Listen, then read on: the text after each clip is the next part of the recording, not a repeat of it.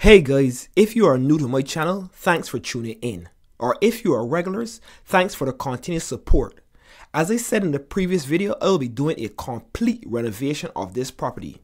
If you haven't watched the first video, you can click on the link above. Today, I will be doing a complete cleanup of this backyard. But today was a bittersweet for me in which I cleaned the backyard, but also got bitten by a huge centipede in the process. And had to go to the hospital afterwards. Guys, leave some comments in the comment section if you like how the transmission turned out or if you would like some lawn care tips, I will be willing to assist you.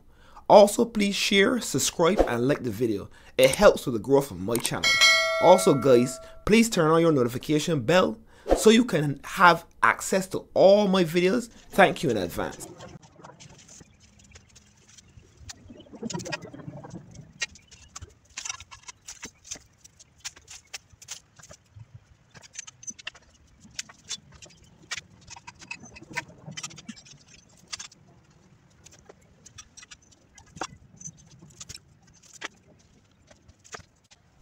Hey guys, normally you start with a sweet, but today I'm going to start with a bitter.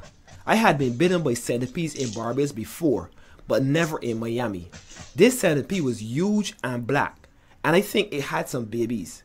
The doctor said I was lucky I came into the ER since he realized I had had an allergic reaction to the venom when I started having some breathing problems. The doctor told me I was going into an anaphylactic shock. I don't know if I said it right, but he assured me I would be okay since I came to the hospital. So guys, be careful when you're picking up any old stuff or any garbage in your yards.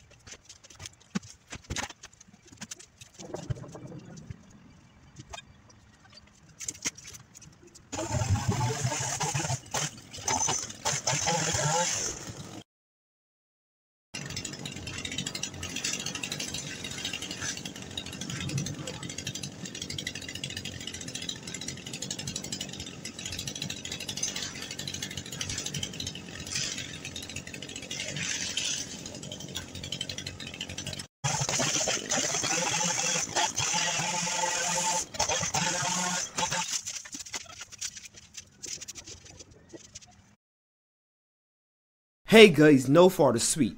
If you have never used this device before to pick up your leaves, now is the time to do it. It cuts down the time it takes you to pick up leaves by 1000%, quick and fast.